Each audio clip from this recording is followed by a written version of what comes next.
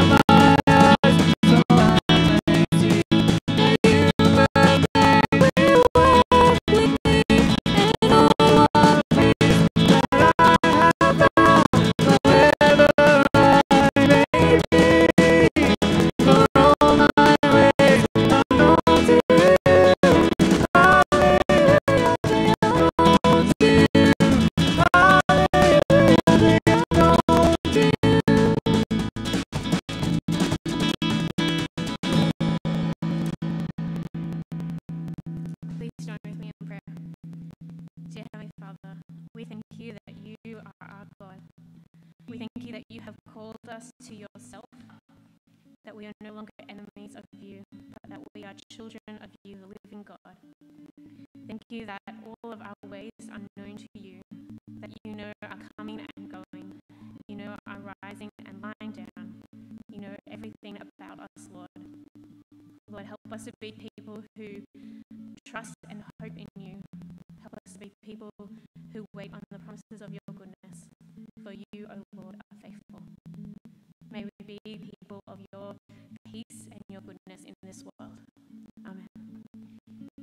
Please grab a seat. Hi everyone, um, my name is Lisa. I am one of the pastoral staff here at St John's in Ashfield, uh, which makes up uh, one of the three sites of Christ Church Inner West here at uh, Ashfield and also at St Oswald's in Haberfield and St Albans in Five Dock. And it's a real uh, joy to be gathered here this evening and yeah, really lovely to be with you all. A special welcome if you are new or visiting us this evening. Um, we're really uh, glad you were able to come along.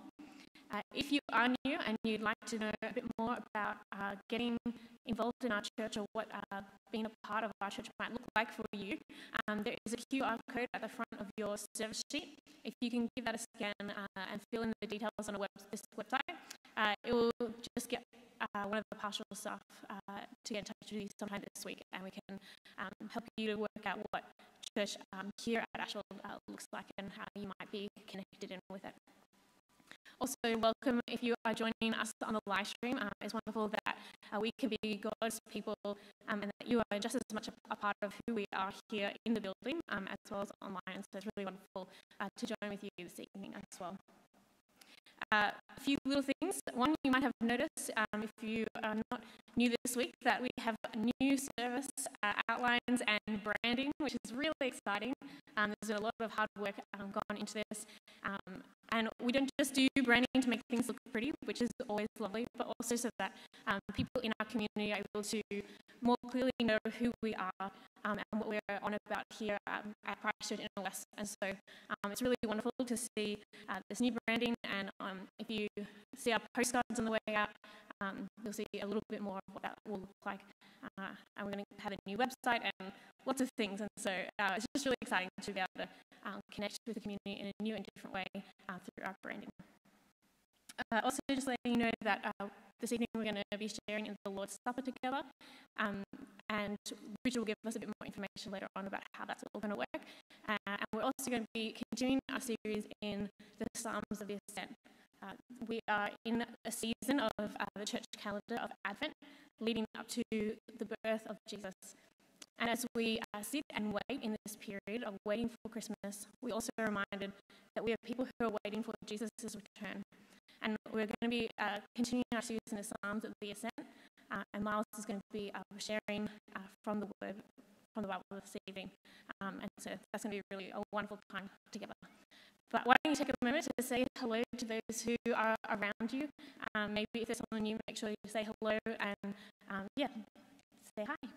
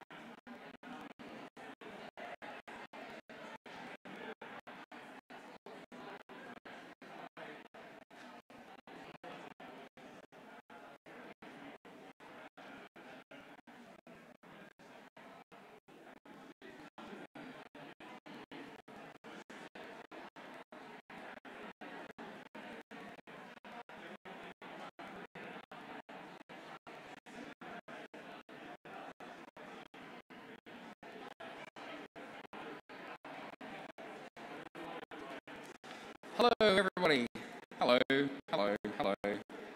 All right, all right, we're going to gather back together again. Everyone always loves talking to each other so much. Awful. Terrible.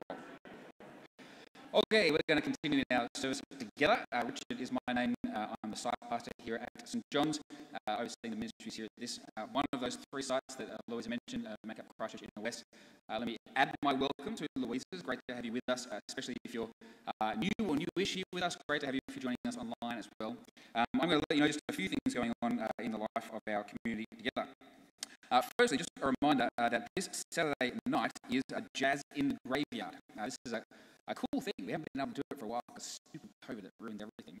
Uh, but it's back. We're on again for Jazz in the Graveyard Saturday night, 7:30, uh, out here in uh, the cemetery. Uh, and uh, basically, it's just a way for us to uh, open up our space and our site, this beautiful piece of land that the Lord has gifted to us, uh, to those around us in our community as well. Often, heaps and heaps of people uh, from around the local community who aren't members of our church kind of come and just get to see the space and be here and, and learn a little bit about us, actually, with the kinds of people who like jazz, you know, that kind of thing. Um, so it should be a really great night. I'd love for you to come along and love for you to invite perhaps some friends or some people you know who live around the area as well, uh, and pray that it'll be a moment of uh, connecting with the community for us. Uh, lots of other connecting with the community things happening uh, as we uh, come up to Christmas as well. And so you'll see as you leave uh, the room tonight uh, on your left hand left hand side as you walk out, uh, a table with a whole bunch of packs of postcards on it. Uh, if you're someone who has, been part of our Adopt a Block program, delivering postcards to the, the area around our, our church here, we'd love you to pick those up tonight. In those bundles, you'll find uh, these beautiful postcards uh, designed by the one and only Jess Sugar. She's done a great job. Uh, which are advertising our Christmas uh, services on one side and our kids' Christmas carols that we're doing uh, are running on from base camp uh, as well. We'd love you to grab those and to get them down to letterboxes as soon as you can. Just a way, again, for us to invite the community around us to come and join us, to get to know us, and we hope and pray to meet Jesus uh, as they celebrate Christmas together with us this year. So we'd love you to grab those soon.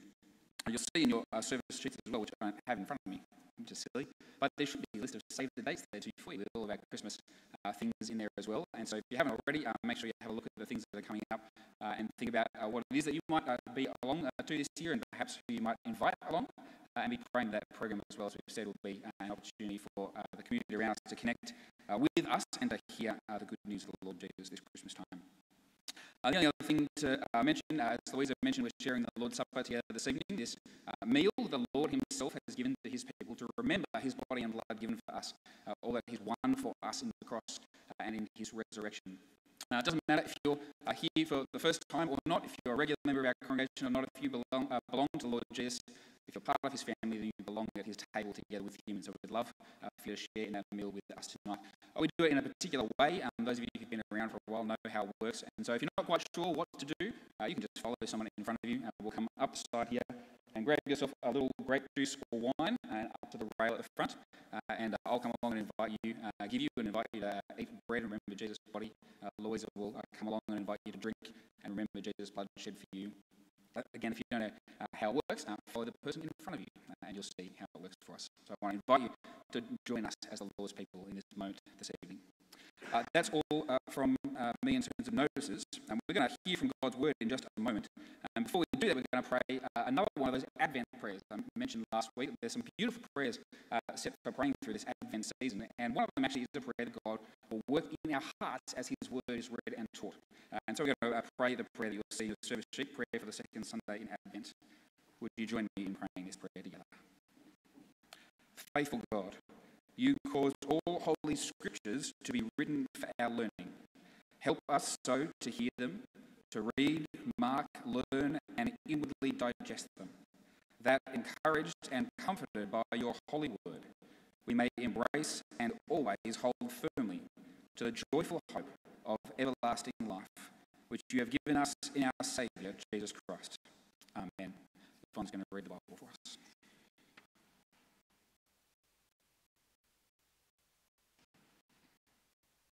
There are three Bible readings tonight, two Psalms and then a reading from the New Testament.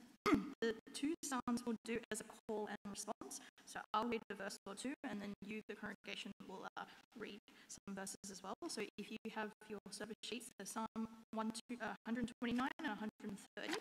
Um, you'll read the parts in bold. I think the words are also on screen, so you can follow it on screen as well.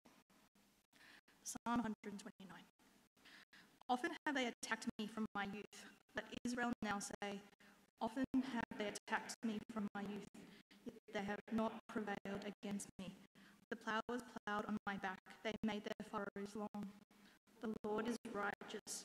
He has cut the cords of the wicked. May all who hate Zion be put to shame and turned backward.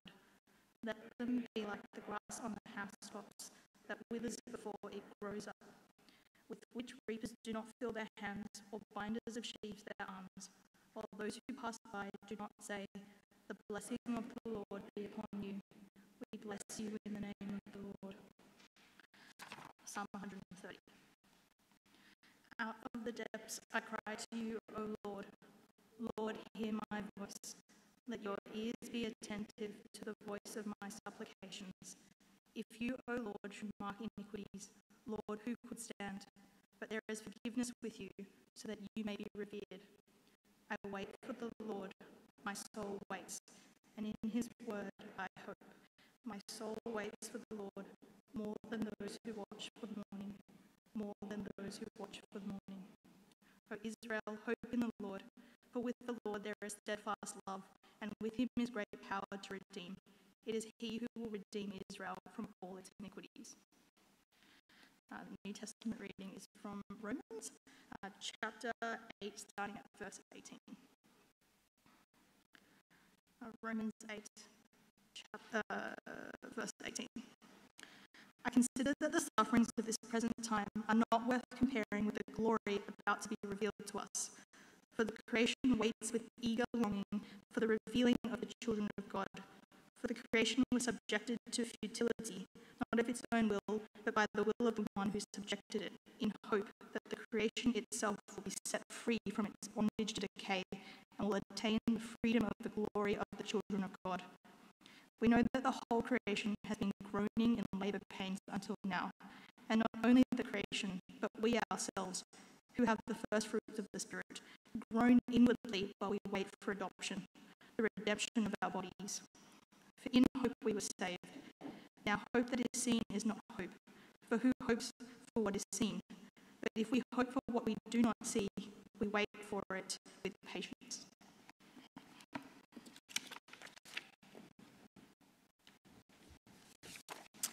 Hi everyone, uh, my name's Miles and uh, I'm part of the 6pm team here and it's a real privilege to uh, bring God's word to you tonight. I'd like you to start by picturing a scenario that I think we'll all be familiar with. And just a warning, this may not bring back good memories. It's a single three word message. Can we talk? It could be someone in a position of authority, like a boss or a superior at work, or it could be a loved one, a partner, or a close friend. Now, I consider myself a fairly level headed, steady kind of guy, uh, but those three words can be fairly frightening to me, even when I'm feeling really good about everything that's going on. By default, I'll ask myself, what have I forgotten? What's gone disastrously wrong? Not what have I done well? But after that message comes, there's actually another step. There's a space of time between receiving the message and having that conversation. And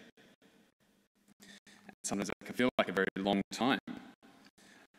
I doubt uh, that it's just me who does this, but what I'll do is I'll play that conversation out in my head. I'll picture the place, the time, the opening lines, how the conversation is going to pan out. I'll, I'll, I'll have the whole conversation in my head in kind of three different ways or more. Um, and usually I'll be imagining that conversation going pretty badly. What's happening there is my imagination is driving my fear. Um, although I also have the capacity to let imagination drive away the fear. Sometimes that just takes a little bit of work. Advertisers also actually understand the power of imagination, probably better than anyone else. I'm going to show you um, two ads here. Um, but I'll start with a bad ad first. I don't know if you can see that very well. This is a, a Samsung ad, and it doesn't take a genius. It's a clever line, and it's a dig at Apple, um, which is kind of fun. But at its core, this ad is just a list of features. On the left, you've got the comparatively small list of iPhone features. On the right, Samsung, glorious Samsung. Um, that is what they call a propositional ad, which does just this. It lists a bunch of features. no matter um, how good they might be or how low the Black, Black Friday prices might go, propositional ads are not very good. Here is a good ad, and this is a newer one, so it may not be quite fair. The reason this is a great ad is because it actually doesn't tell you anything about how good the camera is. Clearly, the iPhone 13 is trying to sell you its, its phone based on the camera. You're meant to buy the iPhone not because of its amazing camera, but because the kind of life you'll live when you have an iPhone 13 is the creative, fun, vibrant life that has room to shoot home movies when you feel like doing that kind of thing. A good ad like this gets you to imagine a life and a lifestyle. Just dream what your life will be like with this product in your hand. We're in our second week of Advent today, and that actually gives us a common chord with the psalmists who wrote Psalms 129 and 30, and actually with all the writers and readers of the Old Testament. That common chord is that we're in a period of waiting. Um, for the psalmists who uh, could have been writing from the time of Nehemiah or, or earlier, we don't actually know, um, but uh, they have uh, spent lots of time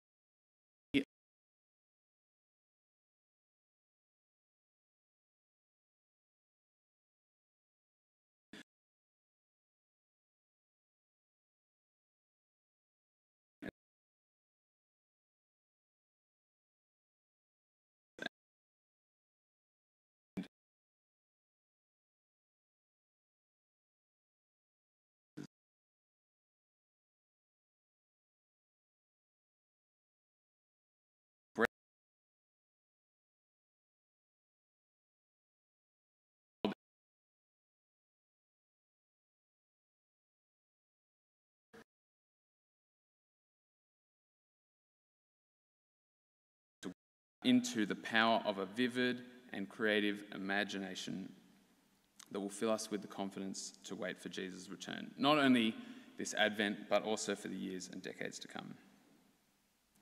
So, we'll hear first about the two great threats to a well weighted life sin and suffering. And then we're going to take a look at how um, imagination, how the role of imagination can help us um, in these problems. So, let's start with suffering. Uh, suffering really is one of the backdrops of human experience, isn't it? It's one that we all need to come to terms with, it's one that we need to realize and handle, something that we'll all experience. And that's actually the first thing to say about suffering, and that's the first thing the Psalms say to us about suffering is that it is real.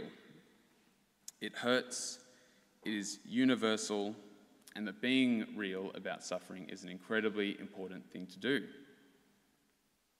There's a bit of a myth out there that um, I think is worth being aware of, and it's a myth that perpetual happiness, the absence of suffering, is like a standard to be achieved.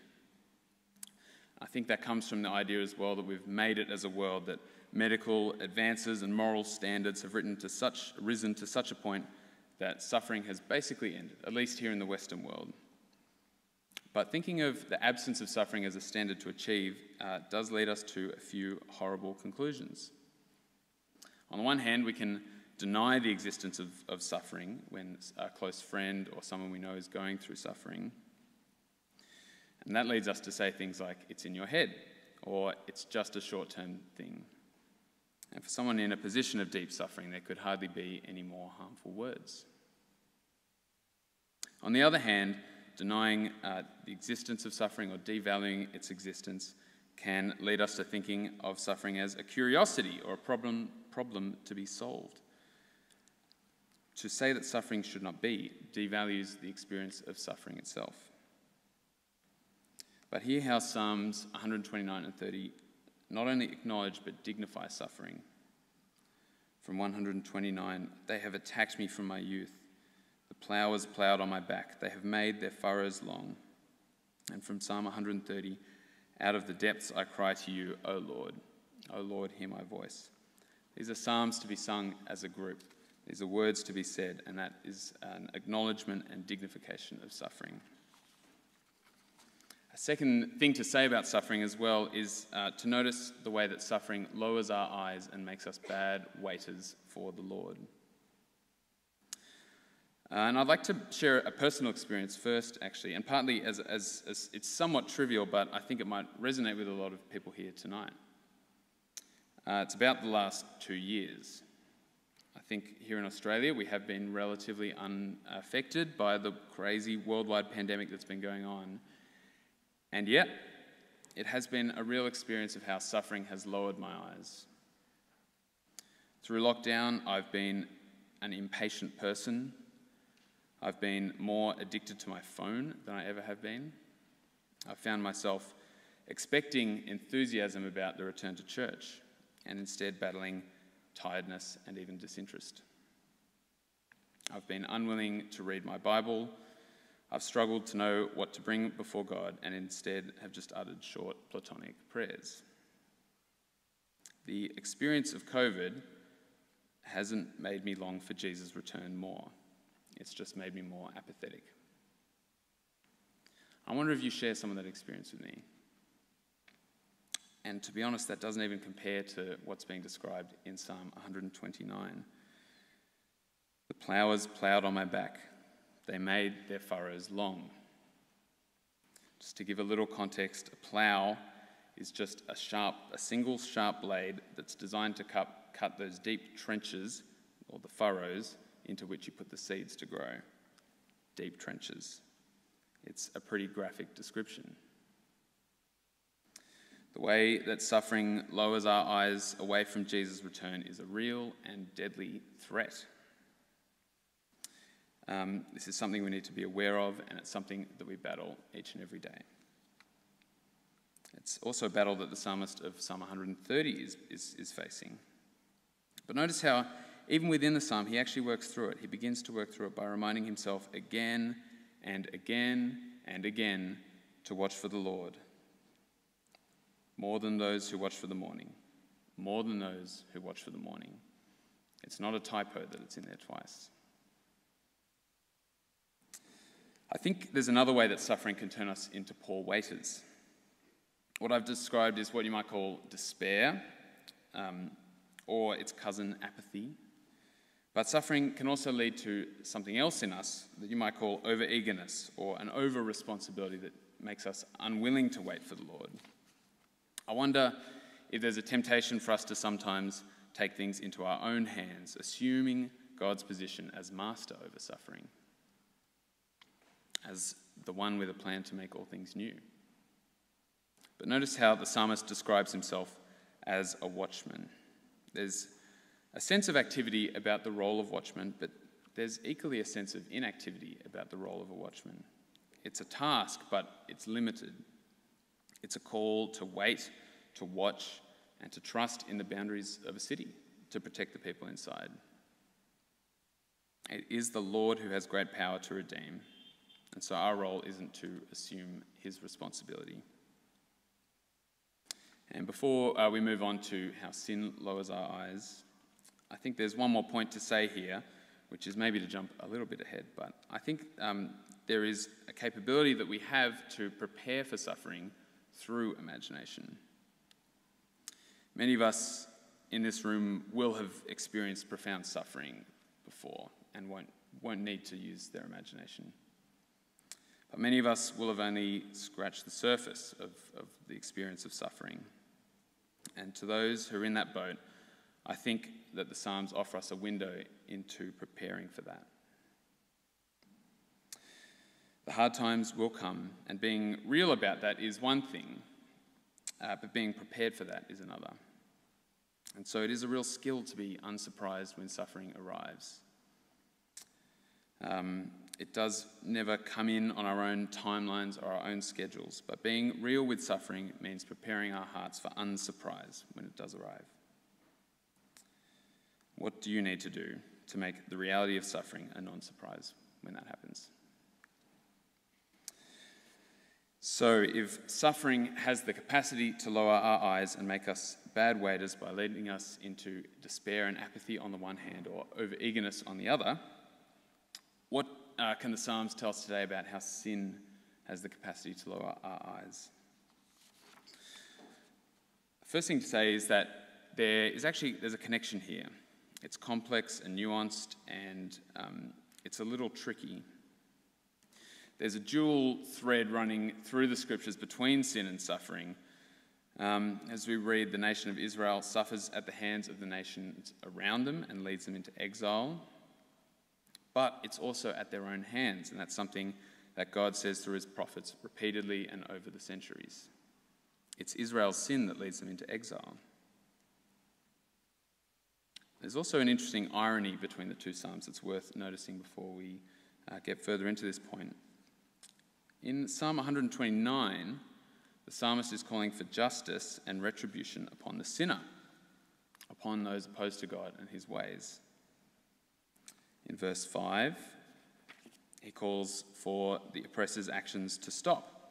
In verse 6, he wants their efforts against God to be like grass trying to grow out of the mud that's used for rooftops, just withering away. And in verse 7, he calls for the sinner's exile and excommunication.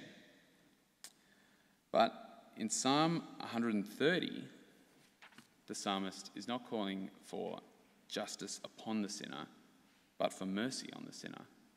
And the sinner in this case is the writer of Psalm 130. Now, let's return to this idea of sin and waiting, how sin lowers our eyes. Notice how in verses 1 and 2 of Psalm 130, the poet uh, doesn't actually specify the nature of the depths that they're in. They just say the depths. I think it's tempting to read that as if it was like uh, the King David from a cave pressed in on all sides by oppressors and pursuers. But the psalmist is not in that situation. The psalmist is wallowing in the depths of their own sin. Out of the depths I cry to you, O Lord. Lord, hear my voice. Let your ears be attentive to the voice of my supplications. And we know that because he continues in verse 3 by talking of iniquities, which is just another word for sin, uh, and forgiveness, not rescuing from external oppression. Drowned in guilt and shame, the psalmist is desperate for God simply to hear his cries. Much like its counterpart, suffering, sin can drive us into despair, or in this case, shame, and into overeagerness. In this case, something maybe more like denial. Let's start with despair. I'm going to borrow here from Tim Keller, who himself borrowed from an author called Franz Kafka. And what Kafka and Keller both noticed actually is the partnership of guilt and shame as an essential pair in the Christian life. If I know something is wrong with me, but I can't actually point to any wrongdoing, I'm simply left in the depths. That's shame without guilt. Shame without guilt leaves us burnt, it leaves us hopeless, it leaves us fearful of engaging with God Himself in the context of a life spent waiting for the Lord. It can shrivel our faiths, it can lower our eyes, it can leave us not looking forward to the future, but fearful of what is to come. The psalmist deeply understands not only his shame, but his guilt before God. Out of the depths, he cries. He has profound agony and a profound awareness of his weakness before a holy God. Another reaction to our sin is to take the other approach denial. That's when we tell ourselves that our sin is something that we can manage on our own or that it doesn't exist at all. We can hide sin, uh, not only from people around us, but we can hide sin from ourselves actually. The Bible tells us of our ability to deceive ourselves. It's something we're very, very capable of and the thing is, the more we deny our wrongdoings externally, the more we pass over and ignore our fallibilities, fallibilities and weaknesses, the less we become aware of them. That's the thing about sin. It doesn't even feel like sin half the time. We're so good at making ourselves feel like there is no wrong when there really are things to deal with. It's not that significant. It's not hurting anyone. It's just temporary, we'll tell ourselves.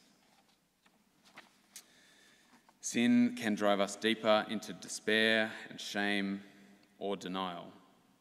Both are great enemies that stop us waiting from the Lord. As we begin to move uh, out of these ideas, notice as well how the psalmist imagines God in Psalm 130. And isn't it interesting how he doesn't describe God's forgiveness and mercy first? He actually imagines the inverse.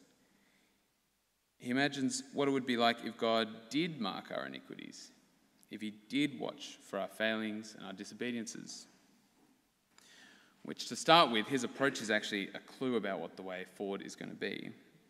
So we'll come back to that in a sec. But first, it, it is interesting to think about this hypothetical, isn't it? What if God did mark our iniquities? And it's not very hard to imagine, is it? Because we're very good at marking iniquities ourselves. We're good at noting who the bad people are. We're good at notching our weaknesses on someone's personal score in our minds. We're good at looking out for those petty little things, letting them stain our view of someone's character. And inversely, we're, we're also really bad at changing our labels for people who we might have already deemed wrong in the past. We're horrible in our imaginations for how God might grow and change someone. But what the psalmist says God isn't, that's exactly who we are. It's important to sit in this hypothetical just for a little bit because it's important to not just realize, um, but really actually know and let this dwell in our hearts because answer the question indeed, who could stand before God? Who could stand before God if He marked our sins down one by one? Who could hold up to His standards? So we move on to point three. See, the psalmist was using metaphors when he imagined the enemy ploughing along his back. Jesus did not have to use his imagination when he was whipped to the bone before his crucifixion. There was nothing metaphorical about his suffering, nothing in his imagination. And what did he do? He waited. He waited in patience despite the incredible agony he was going through. He waited in love, knowing that it wasn't even his sin that brought him where he was. Where does that leave us? How, how does that change our hearts? What God's word has for us today is, is through the Psalms to engage our imaginations, to help us wait for the coming of the Lord despite both sin and suffering that we've talked about. Jesus was left in unimaginable, unimaginable pain so we could imagine perfect, full, life changing forgiveness. So that we can see, even if it is just like a reflection for now, what true forgiveness and right relationship with God, what everything being made new would be like, even before our own sinful nature is finally gone. Somewhat incredibly, it is already December, and I had a look at my calendar the other day to realize that I have two free nights between December 1 and December 25, which uh, is not many, and there are probably people in the room who tell me I'm lucky to have any free nights uh, before Christmas. Work to do, people to see, events to organise, sermons to prepare, or one sermon to prepare, work deadlines to hit, and I doubt I'm alone in suggesting that the busyness of this particular month can get quite overwhelming. But here's what I've been doing. I've been imagining Boxing Day. 10:59 a.m. Feet up on the couch. I've got a large homemade flat white in my hand, and Pat Cummins, the glorious newly crowned Australian cricket captain, is about to start steaming in from the members' end at the MCG, and the English openers are trembling in their boots. And on top of that, there's the relief of no more deadlines, no more things to organise, no, uh, nothing more to do, just time abundant, activities to joy, enjoy, and people to enjoy them with. It's my imagination that's keeping me going this December. I wonder if you're doing the same as me. And this is the thing, this is actually the approach that the psalmists are modeling to us today. In Psalm 129, the Lord is righteous. He has cut the cords of the wicked. Beaten and run down, the evil plowman is hacking into his back when the Lord comes in and breaks the cords of his tools, of his plows, and suddenly all pain is gone. He's not only confident that the Lord will save, he can visualize it. And the only way that we can persevere through suffering is with that kind of firm confidence and assurance that's so vivid it's like an imagination. Remember how the psalmist in Psalm 130 describes his job like a watchman in the night. Like a watchman in the night. This is an activity for our minds, for our souls, a repetition again and again. But like we heard before, uh, the task of being a watchman is actually a kind of non acting that's only possible because of our confidence in the coming dawn. There's one beautiful part of Psalm 130 that helps us here as well.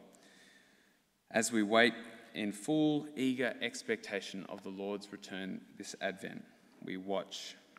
And this word watch is actually the same word used in verse 3 as mark. We watch for the Lord. He does not watch for our sin. As we pull things together, what might this really mean for us this Advent as we enter a period of intense focus and a special time of reflection and of waiting? And I'd like to challenge us to engage our imaginations over the coming few weeks. Many of us will have heard every carol, every Christmas story, every seen every image of the birth of the baby Jesus. There's a repetition that can admittedly drive us crazy. Shopping centres, bus ads, even here at church and on TV. Christmas is everywhere. But there is a way that we can use this season to fill ourselves up for the journey ahead. Not only this Advent, but for the year to come and, and beyond. As you see and hear and sing of a baby wrapped in swaddling clothes, will you imagine an even better sight? A king wrapped in purple robes, triumphant over all enemies, triumphant over death.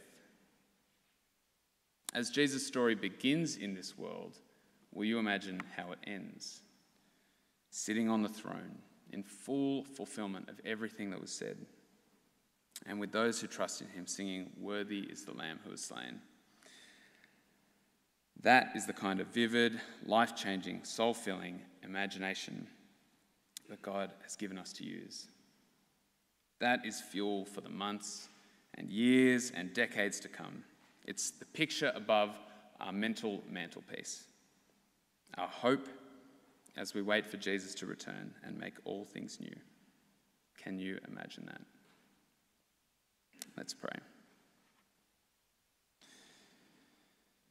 Lord, our Heavenly Father and loving Redeemer, we praise you for your grace to us. We praise you for your patience. We are so thankful that you do not mark down our sins in a book, that you send your Son Jesus to die for us and bear everything we deserved. Lord, please fill us up this Advent as we wait for your return here on earth. Fill our minds and our hearts with the images of things to come. Help us hold on to this sustaining hope and help us carry out as Christ's faithful followers until the end. Amen.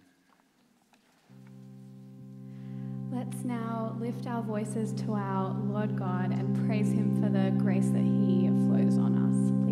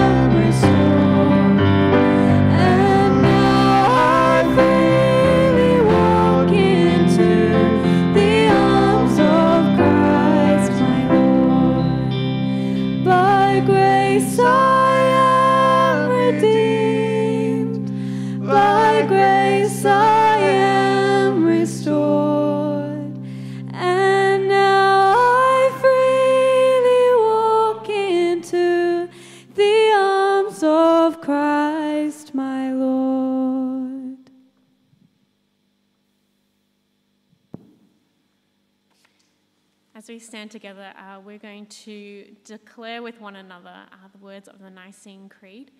Uh, these are words that have been uh, spoken uh, by Christians for generations, and it is a declaration of who our God is, who that we believe in. Uh, and so, as we have heard so much about the God that we know and love, who has poured out his grace on us, let us declare what we believe. Together. We believe in one God, the Father, the Almighty, maker of heaven and earth, of all that is seen and unseen. We believe in one Lord, Jesus Christ, the only Son of God, eternally begotten of the Father, God from God, light from light, true God from true God, begotten, not made, of one being with the Father. Through him all things were made. For us and for our salvation, he came down from heaven, was incarnate of the Holy Spirit and the Virgin Mary, and became truly human. For our sake, he was crucified under Pontius Pilate. He suffered death and was buried. On the third day, he rose again in accordance with the Scriptures.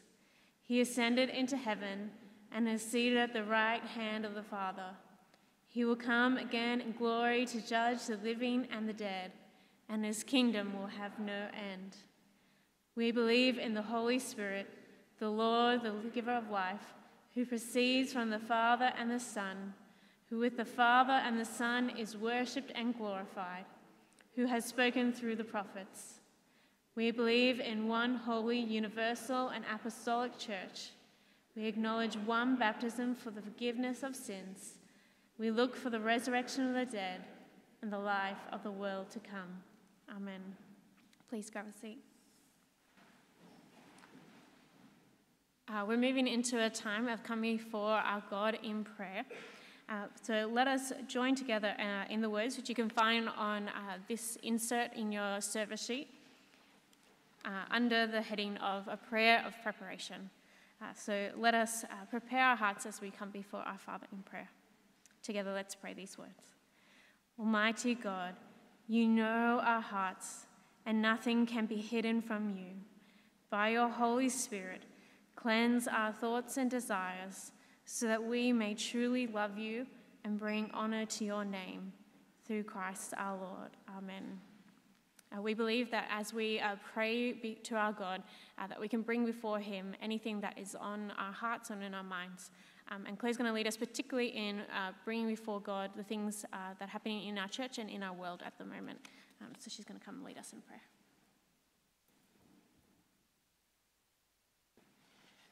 Join with me as we pray to our Father. Heavenly Father, we thank you so much that you are a God of great power power to save, power to redeem, power to change, and also a great powerful love. We thank you that in your power you have enabled us to grow close to you. You have created this world and created people in it, and even when we walked away, you, you reached out with your power across the universe through your Son to enable us to come back to you. We thank you so much for the ways you have worked in this world and in our lives, and we thank you particularly for the way that you have saved us. We pray for our broken world at the moment, as we've done so frequently over the last two years. We pray for the COVID situation. We thank you so much for the wisdom that you have given to doctors and to governments and to individuals in responding to this disease.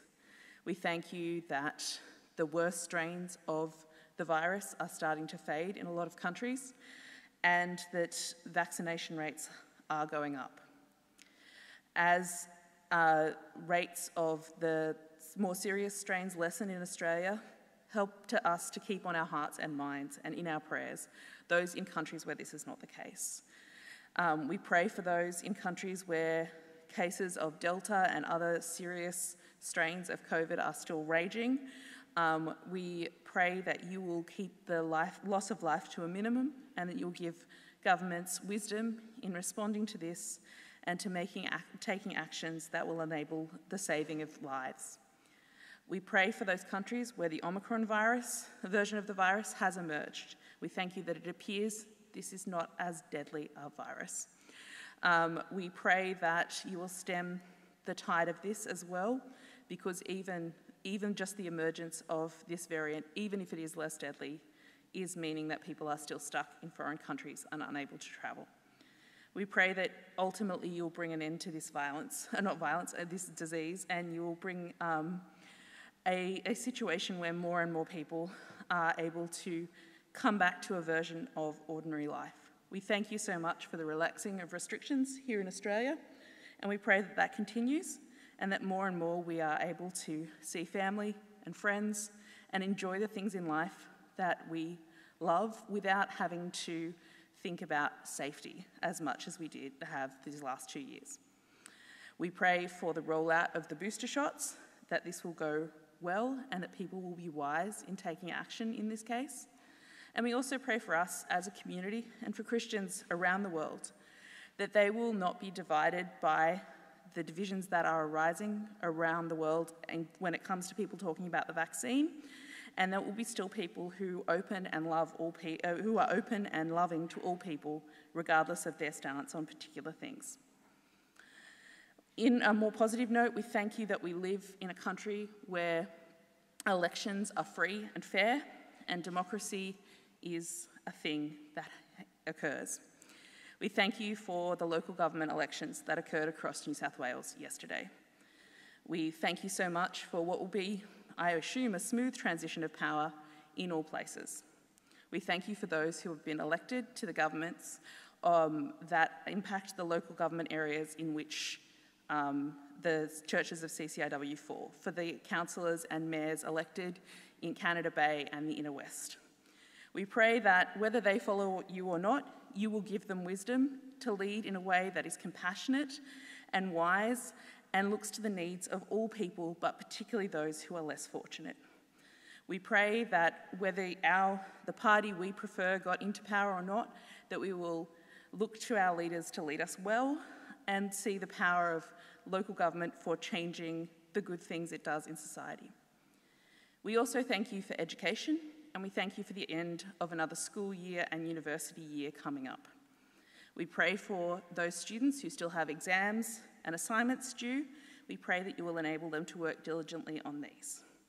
We thank you that those students who have struggled through two COVID years for Year 11 and Year 12 are now done with the HSC.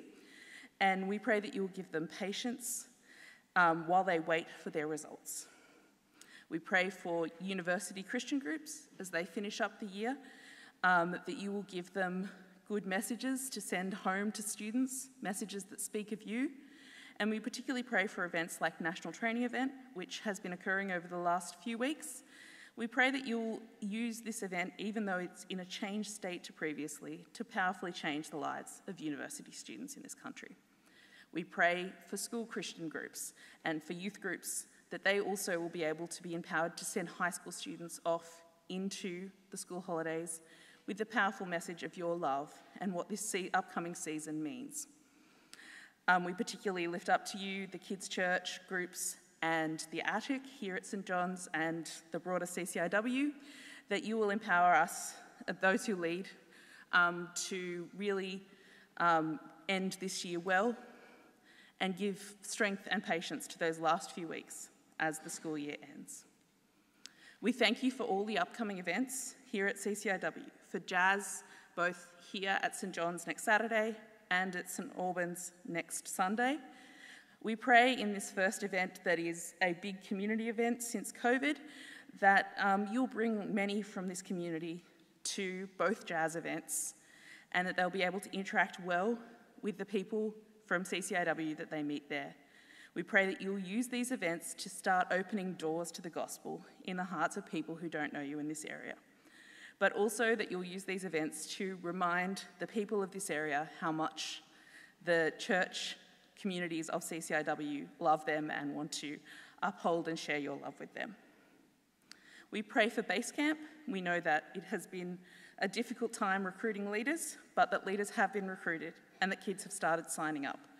We pray that even though there may not be as many leaders as there have been in previous years, that you will still use this program to powerfully change the lives of the children who attend. That there will be children coming both from church families and from church families outside the church, the church, and we powerfully pray that you will enable those from non-church families not just for this to impact the children, but to impact the parents who may not know you. We thank you for the upcoming Christmas services and pray that again this will be a great opportunity for members of the community to come onto the properties of CCIW and hear about your gospel and hear about the season of Christmas. In this season of hope and joy, we pray particularly for those who were baptised this morning at various CCIW sites. We pray for Remy and Clover, who were baptised here this morning. We thank you that you have led Ben and Ali to commit their children in this way to being raised within the church. And we pray that we, as a church here at St. John's, will be able to really support Ali and Ben as they seek to do this and really be people who get around Remy and Clover as they grow up. We pray for Tugs and Zeke over at Haberfield and thank you for the commitments that they have made as adults to following you and to declaring their love for you in front of a broader church community. We really pray that you'll continue to strengthen them and to enable the community of Haberfield folk to really support them well and to help them grow more and more as followers of you. During this season of waiting in Advent, we pray that you'll enable us to wait hopefully, to imagine powerfully, and to imagine a world where the baby who was born at Christmas will once again return in power to save us. And we pray this in his name. Amen.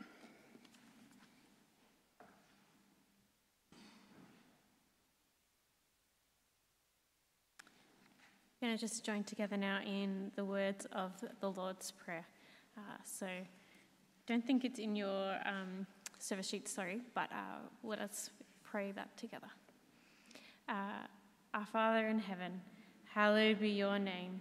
Your kingdom come, your will be done on earth as in heaven. Give us today our daily bread. Forgive us our sins as we forgive those who sin against us. Lead us not in temptation, but deliver us from evil. For the kingdom, the power, and the glory are yours, now and forever. Amen.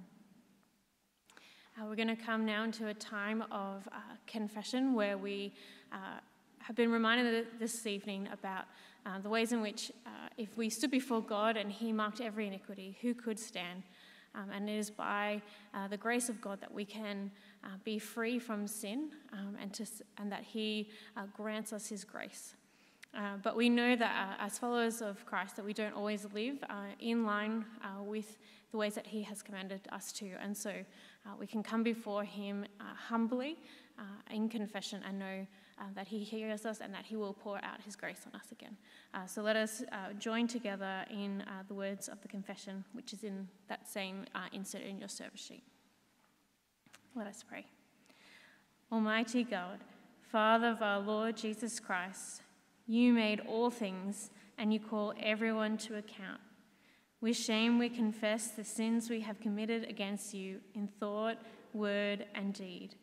We rightly deserve your condemnation.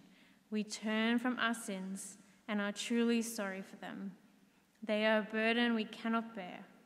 Have mercy on us, most merciful Father for the sake of your Son, our Lord Jesus Christ. Forgive us all that is past. Enable us to serve and please you in newness of life, to your honor and glory, through Jesus Christ our Lord. Amen. Just as we heard before from Psalm 130, says, If you, O Lord, should mark iniquities, Lord, who could stand? But there is forgiveness with you, so that you may be revered. It is our God who has poured out his grace upon us and his mercy, and we can be sure that if we come before him in humble confession, that we stand before him as his children, right in his eyes, um, and that we can be confident in uh, his son and all that he has done for us on the cross to take away our sin and shame.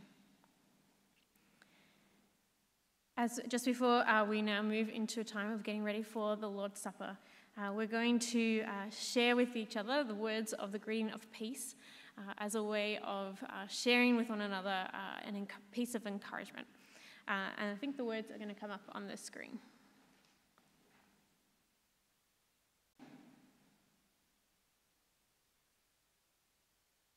Or they're also in, that's fine, sorry, they're in your service sheet too. Okay. We are the body of Christ. His Spirit is with us. The peace of the Lord be always with you. And now, as an expression of peace, um, say peace be with you to those who are sitting around you. You're welcome to stand up and say peace be with you to those around you.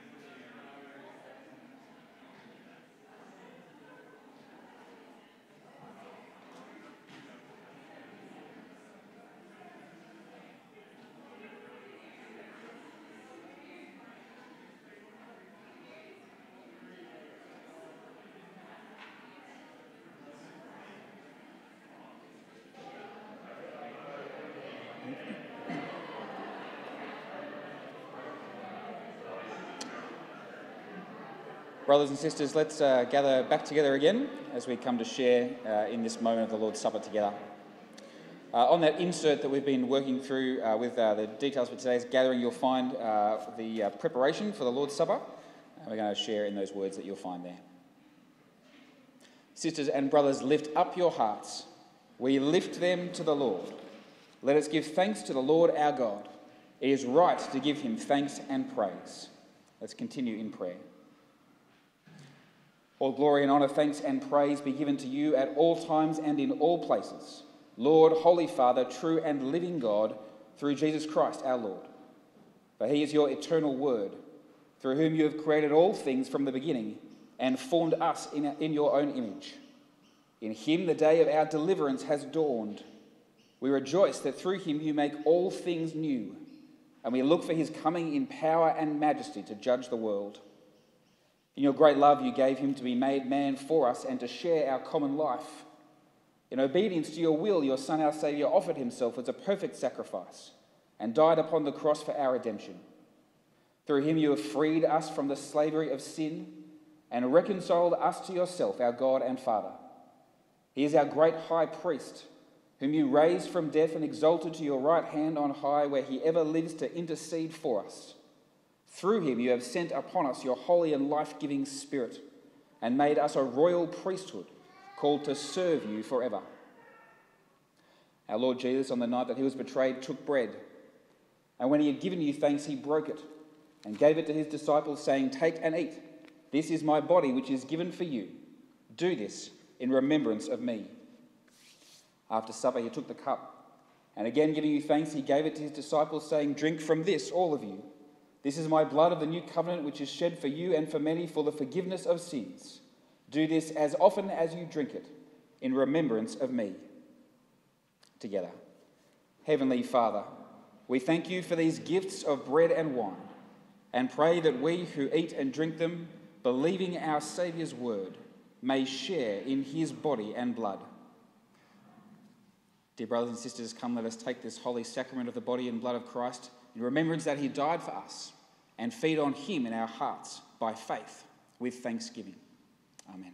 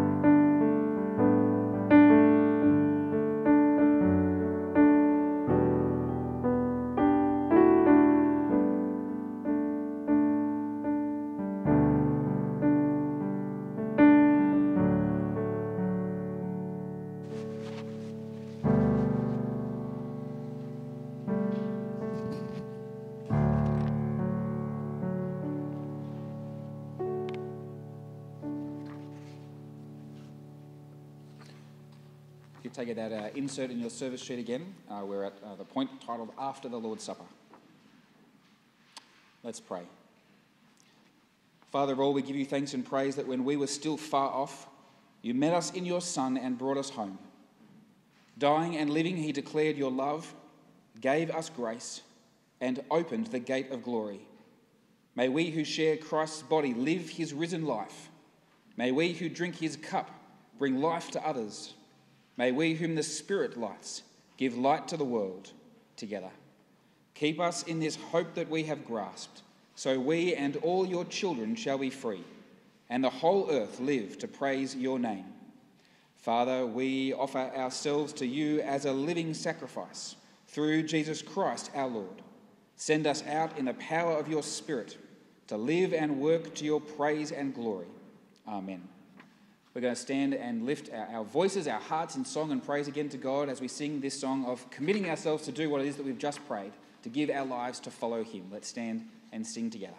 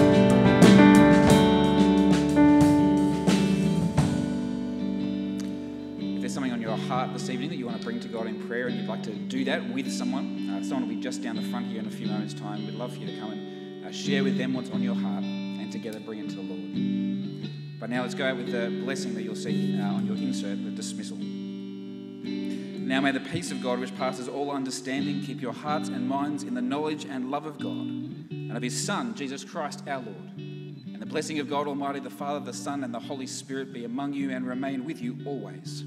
Amen. Go in peace to know, love, and serve the Lord Jesus Christ, his church, and his world in the power of the Holy Spirit to the glory of God the Father. Amen.